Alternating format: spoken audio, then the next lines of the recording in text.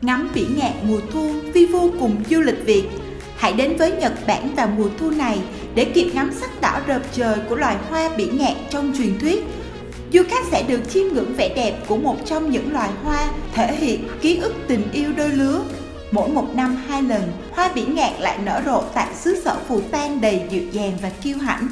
Cùng với đó, du khách sẽ được khám phá nhiều địa điểm thú vị và làm thắng cảnh tuyệt vời với hành trình mùa hoa biển ngạn Nagoya, Kawaguchiko, Fuji, Tokyo khởi hành ngày 25 tháng 9 giá khuyến mãi chỉ từ 25 triệu 499 nghìn.